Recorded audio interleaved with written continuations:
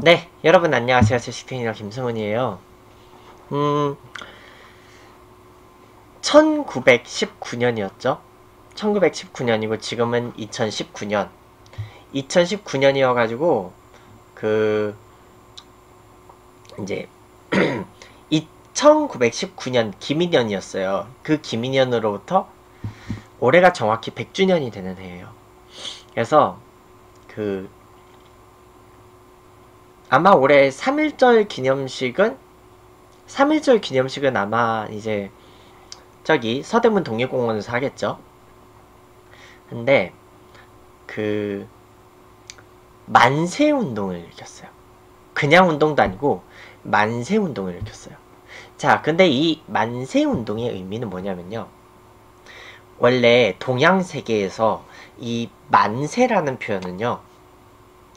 그 최상의 경배구로서 황제 군주한테만 그 할 수 있는 그런 경배 구호였어요. 그러니까 뭐 황제 폐하 만세, 뭐 황후마마 만세, 뭐 이런 거. 음 아니면 뭐 음? 왕이 등극하면 뭐새 주상전하 만세 뭐 이런 거, 신왕전하 만세. 어. 하여간 뭐 이런 표현들이 있었는데 그 이제 조선에서는요 그 조선에서는 만세라고 부른 적이 거의 아마 없었을 거예요. 뭐 어쨌든 뭐 그렇다는 거예요. 그래서 민중들이 군주에 대한 경배의 뜻이 아니고 그런 우리의 그런 대한민국이라는 공동체에 독립하고 이 자주를 바라는 뜻에서 그래서 그 군주제 아니면 뭐 전제 정치 이런 거하고 결별한 민주주의 시작을 아닌다 볼 수가 있어요. 때마침 이 원래 3.1운동이 일어난 배경은 그 대한제국의 황제였던 고종의 그 장례 날짜하고 비슷했어요. 비슷했고 이 1919년의 3월 1일은 이 토요일이었어요. 1919년의 3월 1일은 토요일이었기 때문에 때마침 주말이었죠. 때마침 주말이어서 또 사람들이 좀 많이 몰린 것도 있어요. 그래서 서울에서 열린 거고. 그래서 그 우리는 이에 우리 조선이 독립국인과 조선인이 자주민임을 선언하노라 하는 기미 독립선언서를 시작으로 해가지고 네, 이제 사실 그 이 독립 선언은 서울이 최초는 아니에요. 그 미국 필라델피아에서 먼저 한번 선언이 있긴 했어요. 2월에. 근데 이거를 배경으로 해가지고 아 그럼 서울에서 하자. 그래서 이제 세계 각지의 이 밀집 지역에서 자발적으로 일어난 거예요. 음, 그래서 그 어떻게 보면 그 전까지 우리나라는 그 이제 대한제국이 외교권을 박탈당한 이후로 뭐 단체들은 있었어요. 음. 단체들은 있었는데 음 그런 단체로서 활동한 것까지 있었어. 신민회까지 있었어요. 근데 이제 1910년대 초반 105인 사건으로 인해서 신민회가 해체가 됐어요. 신민회가 해체가 됐고 그 신민회가 해체된 이후로는 그렇게 좀 조직적인 활동은 없었어요. 이 조직적인 활동이 없었기 때문에 어 잠깐만요.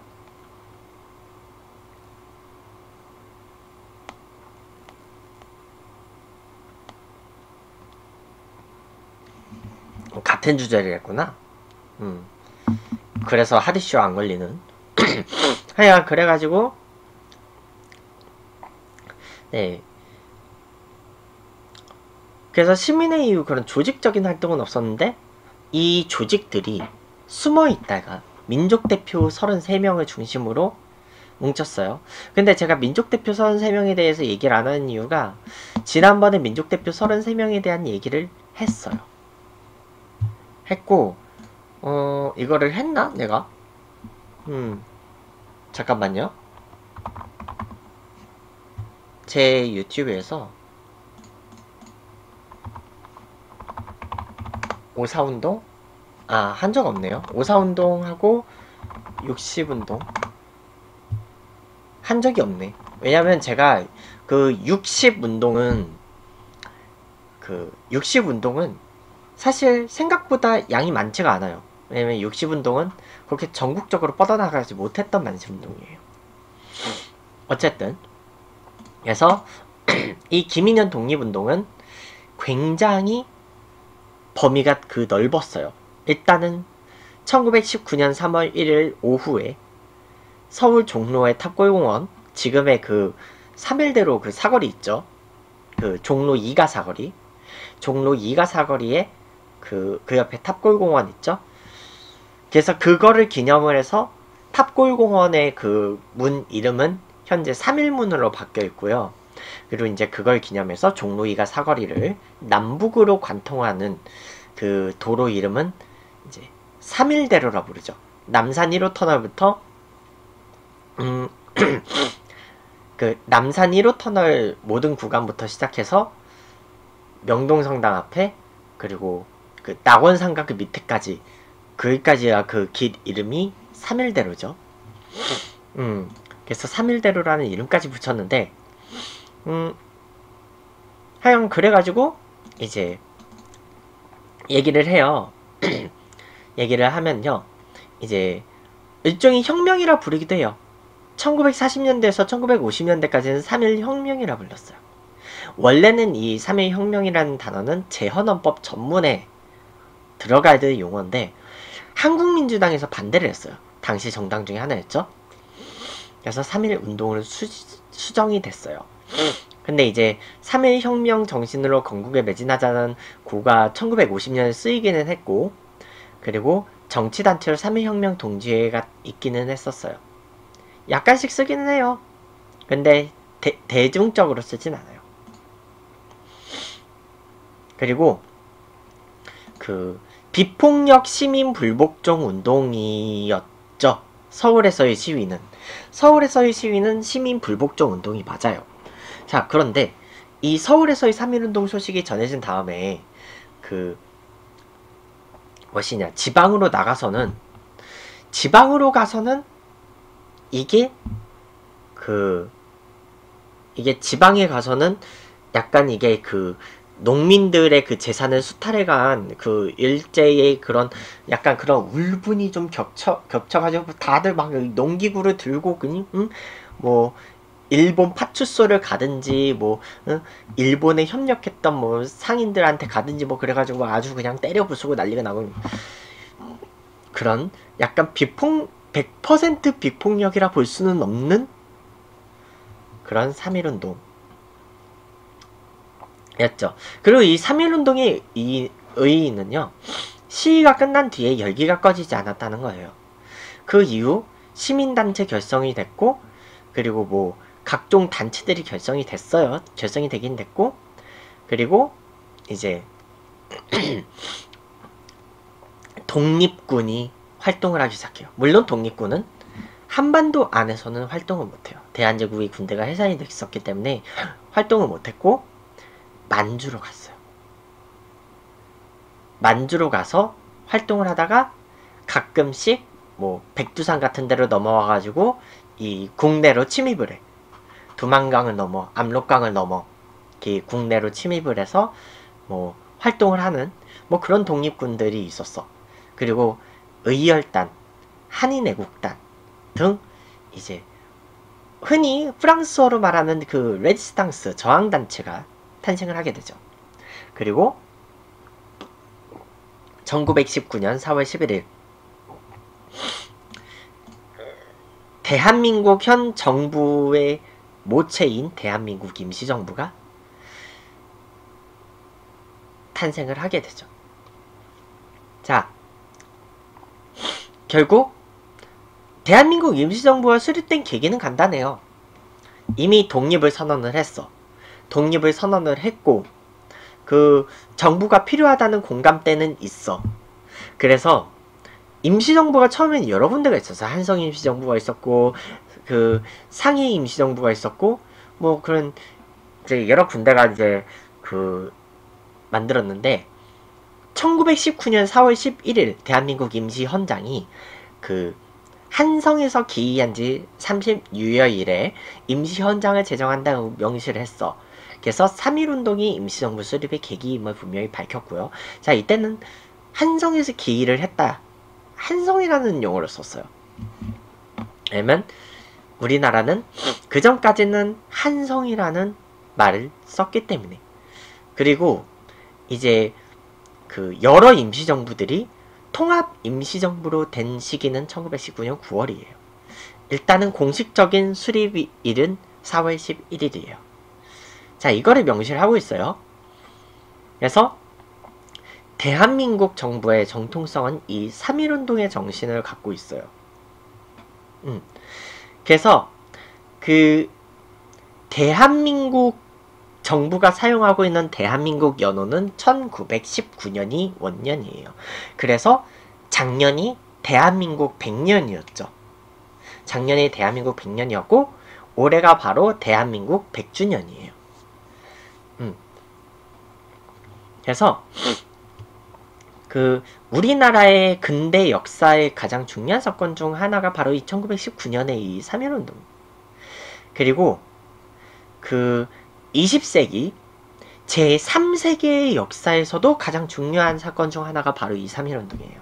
어쩌면 이 3.1운동이 계기로 해가지고 뭐, 뭐, 인도, 아니면 뭐, 동남아시아, 뭐, 아프리카, 뭐 이런 그 제3세계에서 본격적으로 이 독립투쟁을 전개해 나갈 수 있는 계기가 된 게 바로 이 3.1운동이에요. 저 멀리 한반도에서 이러고 있는데 우리라고 뭐 응? 못하는 거 아니다 뭐 이런 식으로 다들 이제 뭐 으쌰으쌰 일어나는 거죠. 뭐 만세를 부르든 뭐 비폭력을 하든 아니면 뭐 독립전쟁을 하든 아 우리는 독립전쟁도 했죠. 음. 자 그랬고 음 사실 그래 이념 자체는 그랬어. 이념적으로는 그럴 수 있다 쳐요. 근데 배경은 되게 여러 가지였어요. 경제적인 배경으로도요. 이제 지주하고 소장농 관계가 있어요. 그래서 이 토지 정리 사업을 했어. 토지 정리 사업을 했는데 우리나라 농민들이 불리할 수밖에 없었어요. 일단 일본어를 몰라. 게임 끝났죠. 거기에다가요. 하필이면 이게 그냥 경제적인 이유만 있느냐. 날씨도 이게 역사적인 사건이 일어나는 데 있어서요. 좀 뭐, 좀 뭐 안 좋은 뭐 이런 안, 영 좋지 않은 쪽으로 터지면요. 분명 자연재해도 영향을 미쳐요. 음,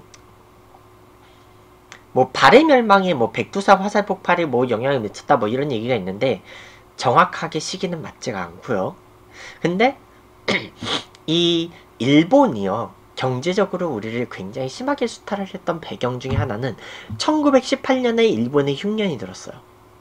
하필이면 1918년이야. 음. 그래서 일본에서 쌀이 안 나게 된 거예요. 쌀소, 쌀, 쌀 사태가 터지면서 이거를 수습하는 차원에서 이 조선에서 쌀을 공출을 해가게 돼요. 이로 인해서 그 농민들의 불만이 커져갈 수밖에 없었다는 거. 음. 아, 지금 제가 그 컨디션이 조금 영 좋지가 않아서 이거를 지금 조심스럽게 뜯고 있는데 하여간 그래가지고 그 노동자들의 사정이 영 좋지 않았어요. 음. 거기에다가 이제 그 일본 자본들이 이제 우리나라 시장에 그 유입이 되잖아요. 그건 당연히 뭐 자본 시장이 뭐 음? 재화가 유입이 되면 당연히 투기가 일어나죠. 그래서 그 1917년에 쌀값이 10원이었어요. 당시의 원화 기준은 10원이었어요. 자, 지금의 10원이면 뭐 어떻게 동전이 있긴 한데 지금 10원 요거밖에 안 하죠? 심지어 뭐 묻어 있어. 음. 야, 지금 10원짜리 이거예요. 이게 이걸로 이걸로 쌀 한 가마니를 살 수 있었다는 거야. 근데 이게 1919년 2월 말에는 43원 57점까지 올라가요. 야, 지금의 가격에서는 상상이 안 되죠.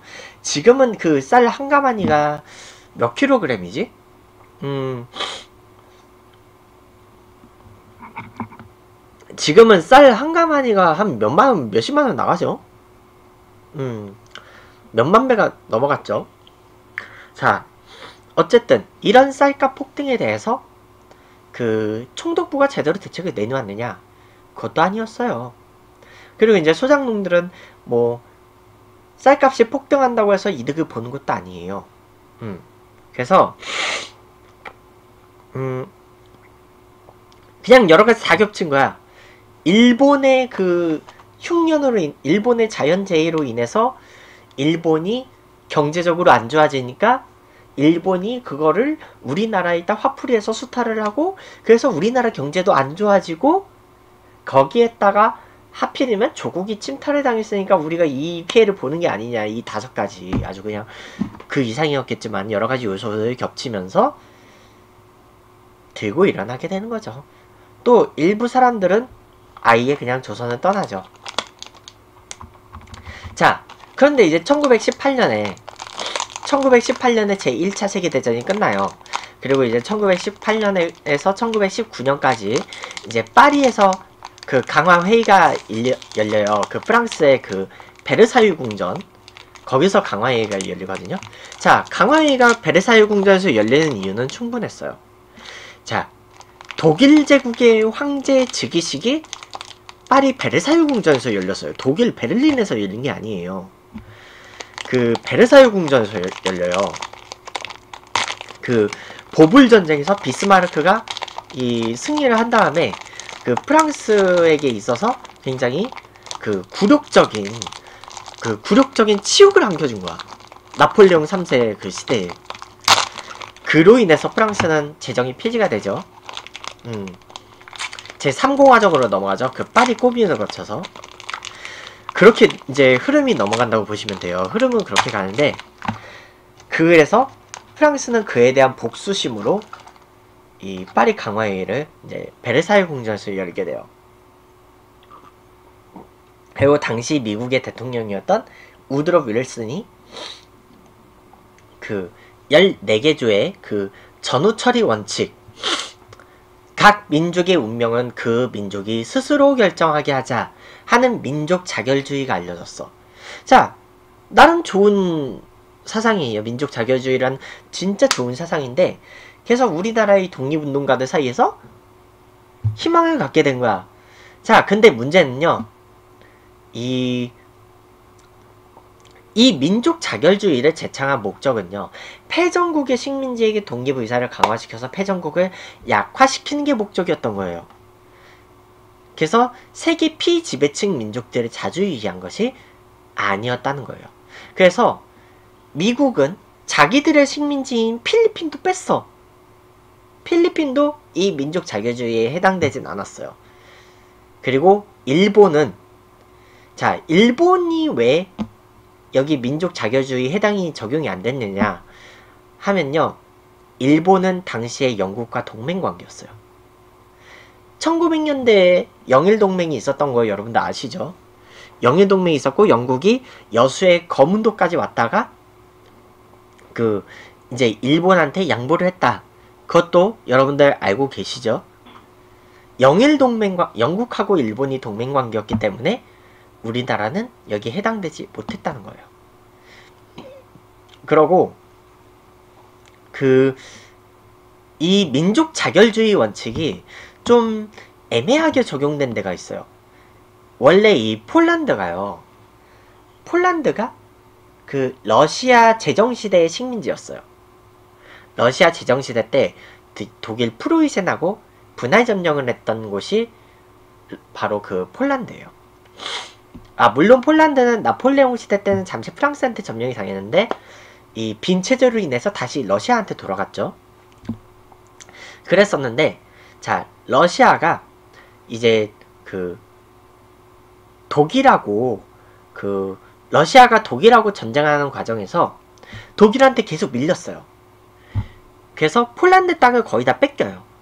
폴란드 땅을 거의 다 뺏겨버리고 그리고 그 상황에서 소비에트 혁명이 일어나면서 러, 그 이제 레닌은 레닌이 독일하고의 전쟁을 더 이상 진행하지 않기로 했는데 문제는 이 과정에서 이때 독일이 그 전쟁에서 이기고 있는지 지고 있는지 알 수가 없는 상황이었잖아요. 그래서 러시아는 그때까지 독일한테 뺏겼던 땅을 돌려달라고 하지 않는 것을 조건을 내걸었어요. 그래서 러시아는요, 그때까 그 소련은 그때까지 그 독일한테 뺏긴 땅 그냥 다 뺏긴 거야. 그냥 다 뺏겨버리고 그 그냥 독일하고의 전쟁을 끝낸 데만 집중을 했던 거예요.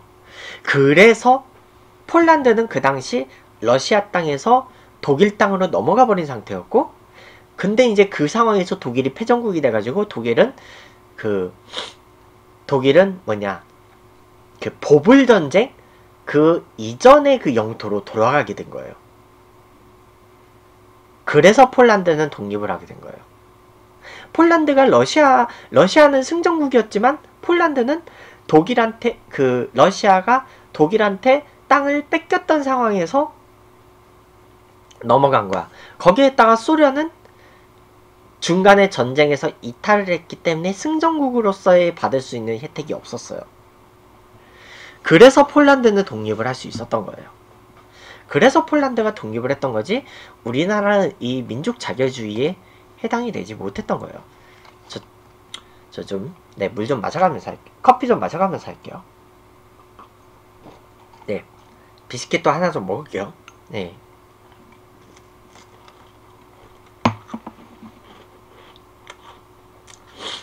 하여간 이 민족 자결주의의 그 결론, 요약을 하면요. 승전국들은 자기 밥그릇은 당연히 챙겼다. 자기 밥그릇은 다 챙겨놓고 패전국들의 식민지만 풀어주자. 그래서 아프리카가 대부분이 영국하고 프랑스의 식민지였어요.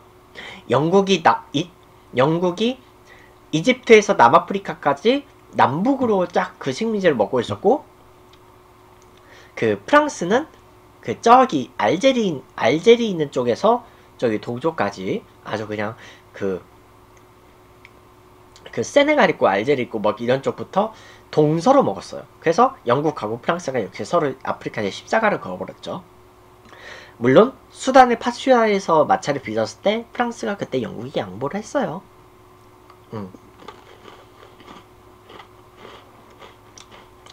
하여간 그렇고 당시 블라디미르 레닌 역시 민족 자결주의를 주창을 했어. 음, 제국주의를 반대한다는 일환으로. 그래서 이 시기에 1917년일 거예요. 그 러시아의 러시아 율리우스 달력 기준으로 10월 혁명이고 우리가 부르는 거는 11월 혁명이죠. 음. 러시아는 그때까지만 해도 율리우스 달력을 쓰고 있었어요. 자, 그랬는데 그래가지고 음, 당시 여운 형이 신한청년당을 이끌고 있었는데 중국에 유학을 하고 있었거든요. 당시 몽양 여운 형은 유학생이었어요. 근데 이제 나중에 1930년대, 1940년대에 들어와서는 이제 우리나라에서 그 좌익 쪽 주석으로 활동을 하죠. 그래서 신한 청년단을 문서상으로 조직을 해가지고 그 파리 강화회의에 김규식을 파견을 했어요. 김규식이 이 파리 강화회의에 파견된 이유는 영어를 잘하기 때문에 간 거야. 음.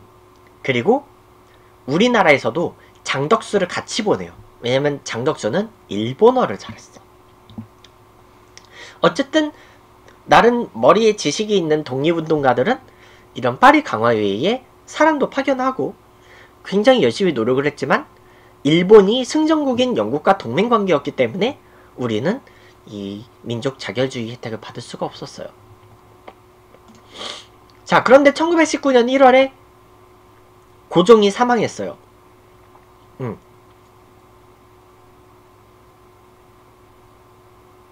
1907년에 순종에게 태자인 순종에게 자리를 물려주고 강제로 퇴리를 당하고 그리고 1919년 8월 이후로 그 황제에서 이태왕으로 이태왕으로 격하되어서 덕수궁에 살고 있었고요. 그리고 순종은 이왕으로 격하가 됐었죠.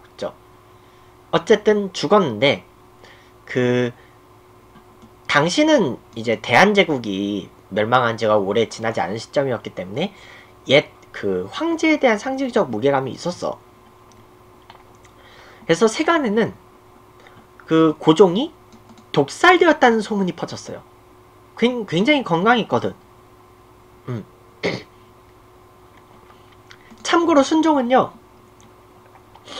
순종은 고종이 죽고 한 7년 뒤인 1926년에 이제 그 죽었는데 그 고주, 순종이 죽은 계기는 바로 이 커피 때문이에요. 그 커피에요. 그 뭘 좀 약을 탔어. 응. 그거를 모르고 순종은 원샷. 원샷을 해가지고 순종은 좀 일찍 죽어요. 수명대로 다못 사요. 못 살아. 그렇다 그래요. 어쨌든 그래서 1918년에 만주에서 대종교 인사들이 대한 독립선언서를 발표했고 1919년 2월 8일에 도쿄 YMCA 강당에서 28 독립선언이 발표가 됐어요. 자 그리고 천도교에서 이 동학 농민운동의 연장선상에서 음, 독립운동이 준비 중이었어요. 자 동학 농민운동을 경험을 했던 손병희가 있었죠. 음.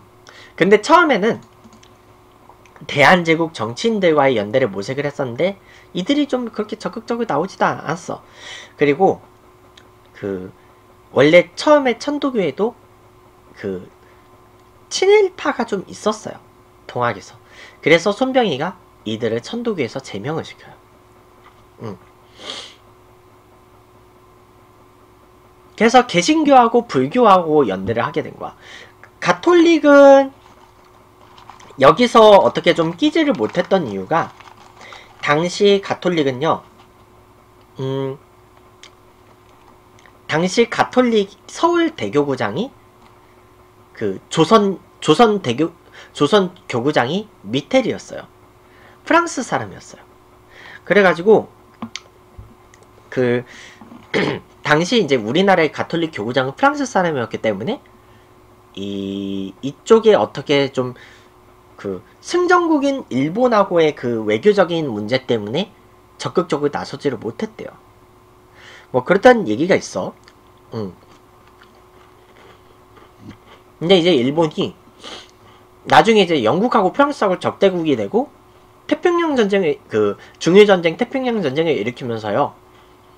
근데 외국인 주교를 추방을 시켜요. 외국인 주교를 추방을 시키면서 그 그때 이제 추방되는 가톨릭 외국 외국인 그 주교가 이제 로마 교황청에 이런 얘기를 해요. 그 다음 교구장으로 그 우리나라 교, 그 한국 교회를 지키기 위해서 한국인 사제를 주교로 임명해 달라. 그래서 임명된 주교가 바로 노기남 바오로 대주교님이에요. 한국인 최초의 주교예요. 한국인 최초의 주교가 노기남 바오로 대주교님이에요. 그래서 그분이 이제 서울 대교구장이 되고 이때 추방됐던 그 주교님이 나중에 대전교구 초대교구장으로 다시 와요. 광복이 되고 나서. 뭐 그랬다 그래요. 그러고 어쨌든 그래서 가톨릭은 이 아무래도 이제 주교단이 그 프랑스 사람이었기 때문에 좀 일본하고의 그 외교적 문제로 인해서 협력을 할 수가 없었어. 그랬던 점은 감안을 해야 돼요. 그래서 나중에 한국 천주교도 그런 거에 대해서 인정을 했어요. 그렇고요. 그 다음에 그 관서지방의 개신교 쪽 지도자들이 배고인 사건 때 좀 많이 잡혔었거든요. 참고로 도산 안창호도 개신교 신자예요. 그래서 그 남강 이승훈 등이 이 운동에 참여를 하기로 해요. 그리고 불교는 저 제가 이제 한나님하고 시무장을 갔었죠. 만해 한용운 등이 중심이 됐고 그리고 근데 이제 최린이 이때는 민족 대표로 활동하고 있었고 한용운하고 접촉해서 불교하고 연대를 했어요. 근데 이제 한용운이 당시 유림과도 연대를 추진하고 있었거든요. 유교 쪽과도. 근데 유림과는 연대를 실패했어요. 왜냐면 유교 쪽은 그 유교 쪽 그 보수적인 양반들 양반 사회잖아. 유림들은. 그래가지고 다른 종교의 사상을 가진 사람들하고 협력하고 싶지 않다 해서 유림들은 협력을 안 했어요. 음. 어쨌든 근데 이제 원래는 그리고 유림 세력도 오려고 했어요. 근데 김창숙 그리고 김정호 등이 그 모친의 와병으로 인해서 도착이 늦어서 이 김희독립 선언서에 서명을 못한 거야. 음. 그렇다 그래요. 그래서 음 그래서 독립선언서의 서명이 끝났다니까 유린 대표들이 바닥에서 막대한 죄를 지었다면서 뒹굴었다 그래. 근데 이제 군중들이 여기서 사이다 팩, 팩폭을 하죠. 이놈아 통곡은 왜 하냐? 나라 망칠 때는 니놈들이 온갖 죄악은 다 지어놓고 응? 오늘날 민족적 독립운동에는 한눈도 끼지 아니했으니 응? 이러고도 다시 유림이라고 오나, 오만하게 잡아 할 거냐? 그래서 이들은 이제 파리 평화회의에 독립 청원서를 뭐 보냈다 그래. 음. 뭐 그렇다고 해요. 하지만 이들은 시도를 하려고 했는데 일본에 의해 발각이 됐어. 음. 그래서 유리들은 투옥됐다가 순국을 했고요. 음.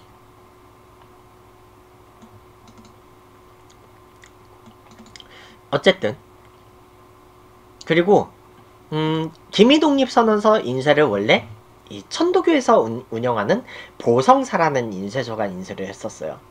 근데 종로경찰서 고등기 형사가 이력을 발견한 거야. 그러니까 그 최린이 신철을 만나서 돈을 주면서 당신 조선 사람이야 일본 사람이야 하면서 좀 며칠간만 좀 조용히 해달라. 그래서 그 싸바싸바 했다 그래요. 음. 어쨌든 그 신철은 이를 묵인을 했고 나중에 체포령이 떨어지고 나서 신철은 유치장에서 청산가리를 원샷하고 자살. 음. 근데 정작 그 경찰이 고등기 형사인 신철은 그렇게 자살로서 애국을 했는데 최리는 내선일체 선봉장이 되죠. 참 아이러니해요. 역사란. 어쨌든 자 어쨌든 그래서 민족 대표들이 결성이 되고 자 이제 독립선언을 해요. 근데 원래는 3월 2일 14시에 민족 대표 33인이 선언서에 낭독하고 대한독립 만세를 시작하기로 했어. 근데 그 2월 28일에 33명 중에 23명이 뭣을 회합을 했어요. 근데 탑골공원에서 거사를 할 경우 폭력 사태가 일어날 수 있다는 지적이 나왔어. 박기도가. 그래서 그 음식점인 그 태화관 현재 그 종로 9길에 태화빌딩이 바로 그 태화관 그 장소예요.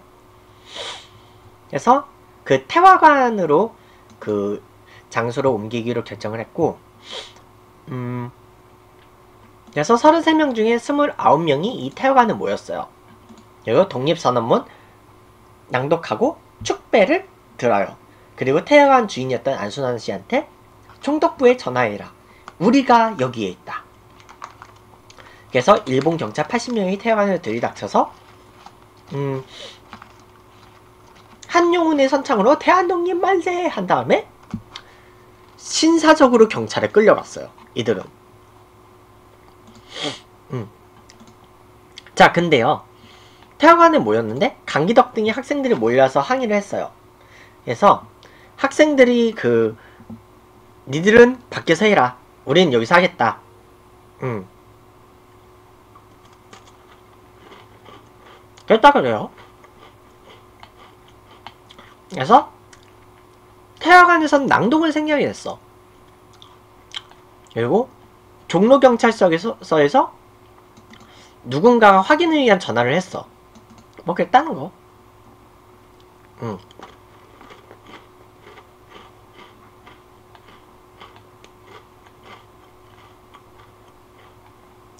근데 이완용은 그런 얘기가 있어요. 원래는 이완용을 직접 만나서 민족대표를 끌어, 끌어들려고 했는데 이완용은 그러니까 민족 화합의 차원에서 하려고 했지. 근데 이완용은 내가 2천만 동포한테 매국적이라는 이름을 들은 지 이미 오랜데 새삼스레 그런 운동에 가담할 수 없고 만약에 성공해서 독립이 되면 먼 다른 독립 사람들 기다릴 것 없이 우리 동네 이웃 사람들한테 맞아, 맞아서 죽겠다. 응?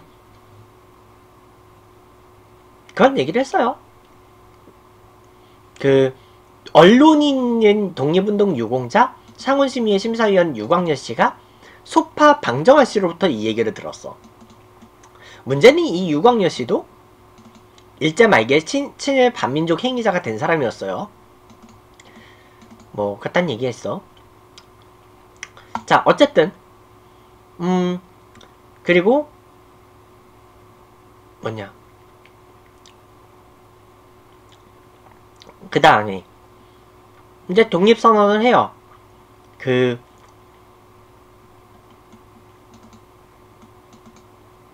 학생들이 독립선언서를 받아낸 다음에 그 이제 경신학교 정재용 학생이 기미 독립선언서를 낭독을 해요. 그 다음에 시작. 대한독립 만세. 자, 근데 이제 때마침 이 고종 황제의 국장을 구경을 하려고 민중들이 상경을 했어. 당연히 했겠죠. 때마침 토요일이야. 토요일이어서 다들 이제 만세 행렬에 끼어든 거야. 응. 그래서 일부는 보신각을 거쳐서 숭례문으로 내려갔고요. 그 뭐냐 종로 일가에서 그 뭐냐 저기 남대문로 그 도로 이름 남대문로죠. 그 남대문로 그 도로를 따라서 쭉 내려가서 그 숭례문으로 간 거야. 그리고 음 일부는 이제 덕수궁 대한문으로 갔죠. 뭐 그래요. 대한문으로 갔고 그리고 이제 일부 시위대가 종로로 가니까 그 이제 일본 헌병들이 와요. 진압을 하려고 했는데 이제 물러서진 않아. 그래서 비폭력 집회를 하다가 18시에 이제 자신 자신의 산을 해요. 그리고 이제 다음날 총독부가 인원 풀어. 인원 풀어서 주도한 사람들 다 연행해. 근데 이때만 체포된 사람이 1만 명이 넘는 거예요. 자, 1만 명이면 서대문 형무소에 자리 없어요. 응. 그리고 3월 1일에는 거의 비슷한 시각에 그냥 주요 지역들에서 만세 시위 운동은 다 일어났어요. 응. 그리고 3월부터 4월 사이에 전국적으로 시위 운동이 일어났고 그 원래 그 뭐냐 유관순의 고, 유관순 열사의 고향인 그 천안의 병천 있죠. 그 목천의 독립기념관 있죠. 하여간 그 지역에서도 원래 아우네에서도 그 만세 운동을 일으키려고 했는데 그 사전에 조직했던 사람들이 다 잡혀간 거예요.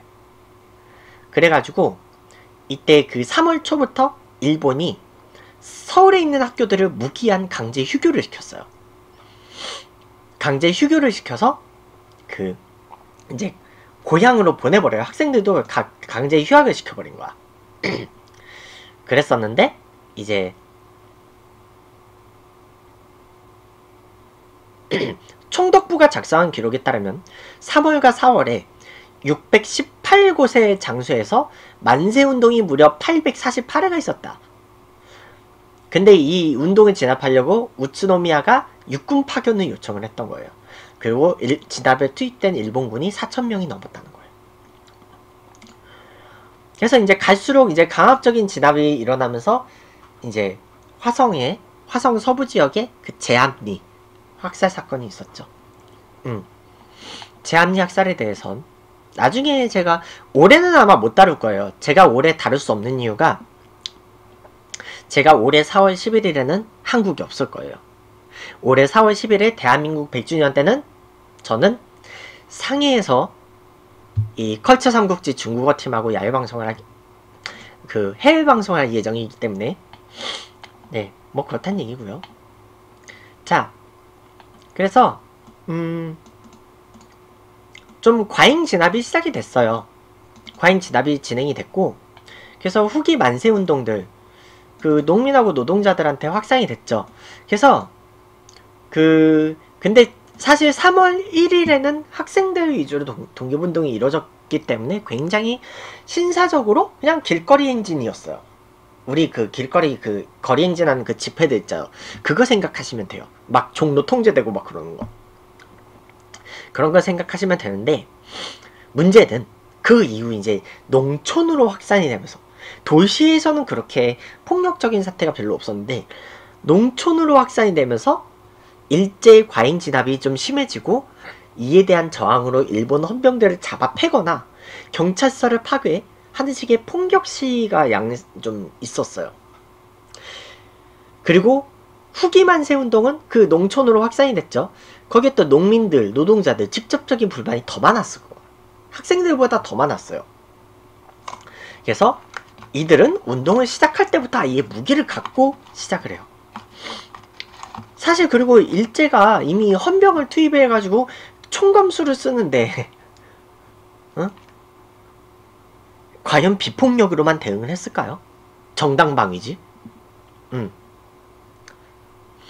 그리고 애시 당초 전 세계 그런 혁명에서요. 폭력이 없었던 일은 없어요. 응? 인도 인도가 그 간디가 그 마하트마 간디가 그 독립운동을 한다고 해서 그래 간디는 폭력을 안 했어. 응? 간디는 했, 기껏 했던 게 길거리 행진해 가지고 그 뭐냐 동쪽 바다 가 가지고 그 소금법 깨지는 그 소금 만드는 거 그 소금 만드는 거 그 대행진 그거 한 거하고 뭐 단식기도 한 거 그리고 감옥 들어간 거 그거밖에 없어요. 근데 이제 그 일반 민중들은 아마 폭력행위 했을 거예요. 음.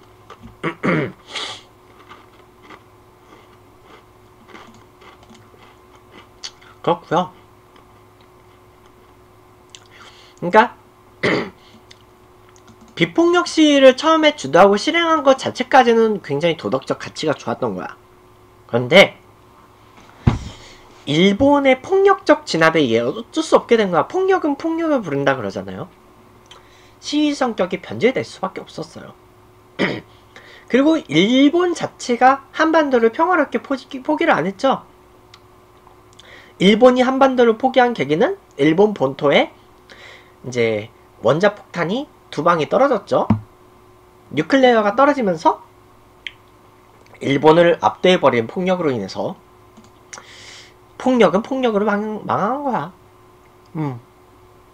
근데 사실 우리는 대한독립만세라고 알고 있겠지만 3.1운동 때는 조선독립만세라는 구호를 많이 썼어요. 대한제국이라는 국호가 있었겠지만 그 당시 우리 사람들한테는 조선이라는 국호가 더 친숙했거든요.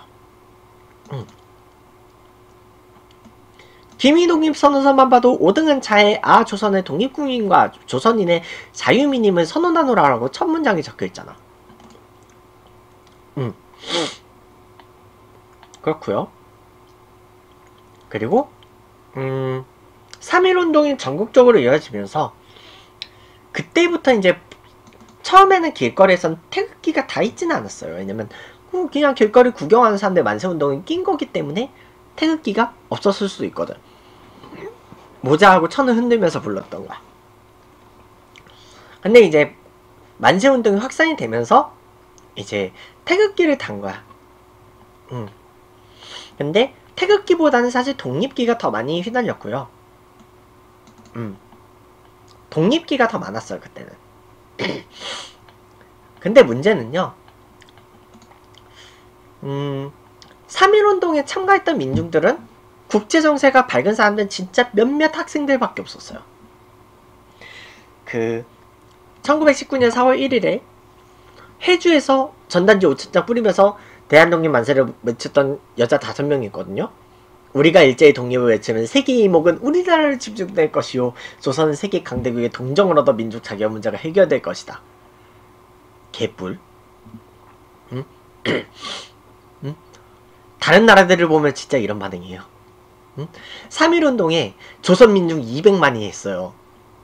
그렇게 목터자를 해서 만세를 불렀어요. 근데 세계 강대국들 외면했어요. 일본이 승전국이었으니까 음. 그러니까 이거를 어떻게 이해를 해야 되냐면요. 이 3.1운동을 어떻게 이해를 해야 되느냐 하고 싶으면요. 그래. 독립은 달성 못했어. 달성은 못했는데 일단 지도부 인식 자체가 즉각 독립을 바라봤다기보다는 독립 정신을 일깨워서 독립 국가를 건설하는 기반을 닦자. 라고 생각을 하는 게 맞지 않을까 싶어요. 음. 그래서 요즘 이제 역사학자들은 이 3.1 운동으로 인해서 대한민국 임시정부가 만들어지고 그 이제 근대화로 갈 수 있는 정치적으로 근대화가 될 수 있는 그 계기가 됐다는 뜻을 의의를 인정을 하잖아요. 뭐 그럴 수는 있어요. 그래서 당장은 독립은 안 됐지만 그래서 한국 독립운동 지열사 박은식이 쓴 이 책에 의하면 시위인 인원 200만 명에 사망 7,509명 집계된 것만이에요. 그리고 부상은 15,850명, 체포는 45,306명, 그리고 불탄 민가가 715호, 교회가 47개소, 학교가 2개소가 불탔다. 라고 따르고 있어요. 자, 총독부 기록에 의하면 106만 명의 진압 과정에서 553명이 죽고 체포는 12,000명이라고 기록되어 있어요. 표본이 다른 거지. 어쨌든 음 3.1운동은 어떻게 보면 우리나라 최초의 시민운동이에요. 그러니까 특정 지도자들이 중심으로 뭉친 게 아니고 그냥 학생들이 시작을 한 거야. 그래서 적극적 저항으로 이제 나간 거야. 민중들 중심이 됐고. 그래서였는지 모르겠지만 그 민족 대표 33명 중에서요. 5년 이상 장기 톡 됐던 분이 만해 한용운 스님 등이 진짜 극소수밖에 안 돼요. 그 의암 손병희 같은 경우는 일단은 원래 이제 주도자였기 때문에 장기 톡이 됐었다가 병보석 됐었어요. 손병희는 병보석 됐고 이제 몇 년 뒤에 죽었어요. 그리고 한용운은 장기톡 했고 그래서 민족대표 33명은 의외로 오래 그 안 있었어요. 오히려 후기 주동 인물들은 더 이제 폭력적인 막 이런 것도 주도하고 막 그래가지고 오히려 막 장기 형 장기 복역을 하고 막 그랬어요. 응. 어쨌든 근데 일본도 이미지를 망가뜨린 건 있었어요. 이, 일본도 이 3.1 운동을 인해서 이미지가 망가졌어요. 뉴욕타임즈에 의하면 조선인들이 독립을 선언했다. 알려진 것 이상으로 3.1운동이 널리 퍼져나갔으며 수천 명의 시위자가 체포됐다. 뭐 이런 보도가 있었고 그 초기 평화적 시대에게 학살을 가했던 사실이 국제적으로 폭로가 되고 말았어요. 기자들에 의해서. 음. 그래서 일본은 이때 이미지가 꺾였고 이미지가 망가졌고 그래서 일본은 이제 무단 통치만으로 한계가 있다 해서 기만적 문화 통치로 전환을 하고 이제 그 조선 총독을 군인이 아닌 다른 일반 정치인들도 임명을 하겠다 했는데 실제로는 계속 군인들만 임명을 했어요 총독을. 그리고 이제 마지막 조선 총독은 이제 미 군정에게 항복을 했죠. 자 그렇고요. 음 그리고 이 3.1운동의 여파는 결국 이제 중국 바로 옆 나라인 중국 오사운동이 일어나요. 음. 그래서 중국이 조선에 대한 일반 민중의 인식이 이때 크게 바뀌어요. 음. 조, 조선이 일제 저항하지 않고 순응한다는 인식이 많았는데 3.1운동 이후 중국이 오히려 그 우리가 왜 양심을 갖고 행동을 못했을까 하는 반성을 했다는 거야. 응.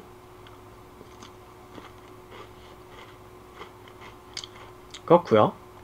근데 인도의 비폭력 독립운동은 그 뭐냐 내 그 이제 좀 약간 비폭력 저항을 주도하는 마하트마 간디나 아니면 이제 인도의 국민회의를 주도를 했던 지와할라 네루 이런 사람들은 그래 3.1운동은 인지를 했던 사람들이에요. 하지만 그 간접적인 영향이었지 인도의 독립운동은 지, 직접적인 영향은 없었어요. 음. 인도는 이미 자기들끼리 했다는 얘기야. 음. 그랬고요. 그리고 3.1운동의 한계는 명확했어요. 3.1운동의 한계가 명확했던 이유는 지도부가 없어. 그래, 민족대표 33명? 3.1운동 한다고 그냥 그때 잠깐 까짝 모인 거잖아. 정부 조직이 아니잖아요. 그래서, 음, 너무 산발적인 만세 운동으로 인해서 그냥 일본 경찰이요. 그냥 만세 운동이 일어나는 그 각, 각 동네로 경찰들이 그 병력만 나눠서 파견하면 그냥 총 쏘면 각계격파. 뭉칠 수가 없었던 거야. 응. 그리고 전국에서 동시에 일어난 게 아니고 서울에서 네 도시에서 주요 도시에서 농촌으로 그 퍼지는 데가 시간이 좀 걸렸다는 거예요. 그렇기 때문에 좀 일시적으로 전국이 동시에 일시적으로 움직이지 못했다는 거. 그것도 좀 아쉬웠던 점이죠. 그래서 이때 이제 그 약간 정부급 조직이 필요하다는 걸 이때야 지식인들이 느낀 거예요. 음. 그래서 서로 이제 주도층이 또 따로 놀고 그래서 이제 그때부터 한반도 국내에서는 이제 저항운동이 한동안은 푹 꺾여요. 아, 네, 민성, 민성님 안녕하세요. 그래서 그, 그 다음에 이제 그 만세운동에서 이제 무기 들고 저항하던 세력들은 무장투쟁을 하게 돼요. 독립군이 돼요. 그래서 대한민국 임시정부에 창립한 단체가 총 3개. 그리고 민중의 재발견이 이뤄지긴 했었어요. 음. 어쨌든 여러가지 정치적으로, 법적으로, 사회적으로 엄청난 의미를 지녔던 게 바로 이 3.1 운동이에요. 그 민족적 합의가 이루어졌다는 거죠. 아, 네. 그 아까 인사드렸었는데 한번 접속 끊겨서 다시 들어오신 네, 그분. 그래서 대한민국 헌법 전문은요 여태까지 개헌이 이루어지는 동안 3.1운동 정신을 계승했다는 문구가 빠진 적이 한 번도 없어요. 물론 개헌이 될 때마다 무슨 정신을 계승하고 무슨 정신을 계승하고 무슨 정신을 계승하고 무슨 정신을 계승했다는 이 문구는 계속적으로 업데이트가 됐어요. 그래서 지금은 아마 그 5.18 정신하고 그 6월 민, 6월 항쟁 정신 그거 계승했다는 문구까지는 아마 들어가 있을 거예요. 그리고 그 이번에 안타깝게 아직 개헌이 이루어지지 못했지만 아 근데 아마 좀 어느 정도 시간이 지나고 개헌이 이루어진다면 그 뭐냐 11월 그 2016년에 있었던 촛불혁명 있죠? 2016년 촛불혁명 그 정신을 계승했다는 문구가 포함될 수도 있어요. 다만 이거 이 경우는 이제 4.19 때는 민중들의 요구에 의해서 이승만 전 대통령이 하야를 했는데 이번 같은 경우는 박근혜 씨가 계속해서 버티고 있다가 결국은 국회가 쫓아냈죠. 국회가 탄핵을 올려버리고 헌법재판소가 이를 승인했죠. 이번엔 국회에서 쫓아내버리는 약간 뭐 최초로 탄핵으로 쫓아버리는 쫓아내버리는 그런 사태가 벌어졌다는 거. 뭐 어쨌든 그런 촛불 혁명 정신을 계승했다 그런 문구가 아마 다음 개헌 때나 아마 나올 수도 있을 거예요. 개헌이 언제 이루어질지 모르겠지만, 음 그리고 그 상당수의 민중들은 독립 후 어떤 나라를 세울 것이냐 하는 질문에 당연히 공화국이라고 했다 그래요. 대한민국은 민주공화국이다 뭐 이런 거. 뭐 그렇다고 하고요. 음 그래서 그 3.1운동이 발발되고 이제 지하신문으로 조선독립신문이 그 발발이 됐어요. 근데 이 3월 1일자 조선독립신문에는요. 그 보성 전문학교 교장이었던 유닉선 유닉선 교장이 그 3.1운동에 대한 그 코멘트를 오피니언을 올렸는데 그 신문이 나오자마자 유닉선 교장은 체포를 당해요. 그리고 이제 보성 전문학교 학생이었던 소파 방정환 등을 포함해서 이제 여러 학생들이 신문을 다시 발행을 하죠. 음. 그래서 그 임시 정부 및 임시 대통령 선출 계획이 보도가 돼요. 3.1운동과 동시에 민주주의제 정부 수립도 진행이 된 거야. 그래서 한성정부 수립 선포식은 4월 23일이었어요. 음, 그래서 공화 만세라는 글귀가 적혀 있고요. 음, 그리고 대한민국 임시헌장, 상해에서 임시정부는 4월 11일에 임시헌장이 제정이 됐어요. 그래서 우리나라는 임시 헌장이 제정된 4월 11일을 대한민국 역사의 시작으로 보고 있어요. 대한민국 역사의 시작. 그렇다고 하고요. 음,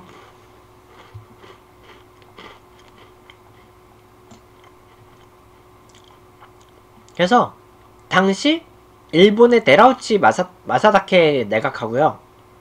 그 하세가 하세가 요시미치 총독이 당시 조선 총독이었어요.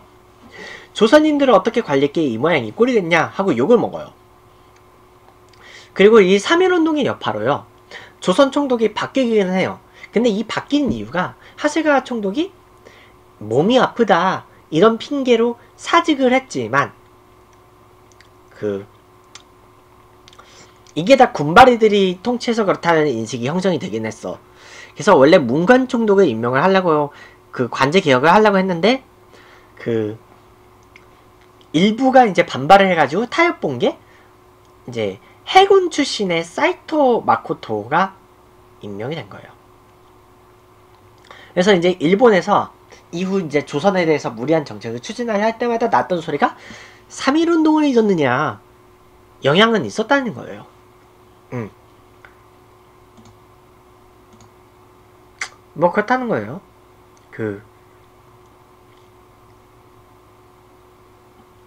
그렇고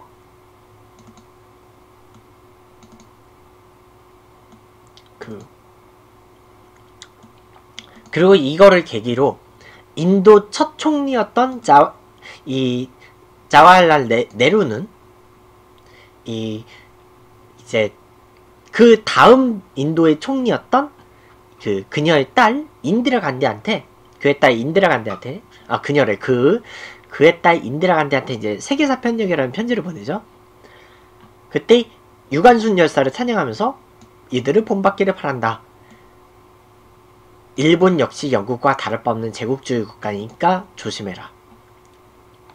음. 뭐 그랬다 그래요. 자,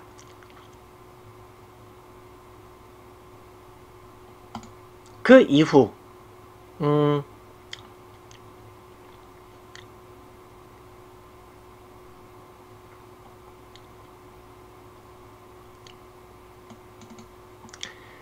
삼일운동을 하지 말자는 친일 반민족 행위자들도 있었어요. 자제단을 만든 사람들도 있었어. 음. 그래서 이 사람들은 조선왕조 전직 관리들의 중심으로 처음 조직이 됐었어요. 그래서 이, 이 자제단들이 독립운동가를 체포하거나 관련 정보를 일제히 넘긴 거야. 그래서 일부 예를 들어서 유관순의 고향인 아우네 이런 데에서는요. 양력 3월 1일에 만세운동이 못 일어났어요. 조직들이 잡혀버리니까. 뭐 그렇다 그래요. 음.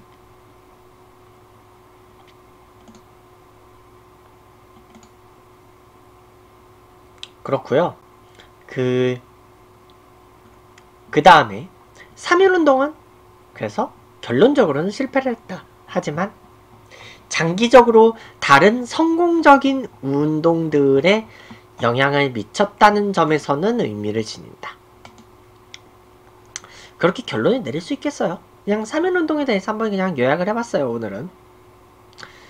자, 그러면 잠깐 쉬고, 그, 이제 순서대로 할게요. 시대 순서대로 5, 4운동, 60운동을 가도록 할게요.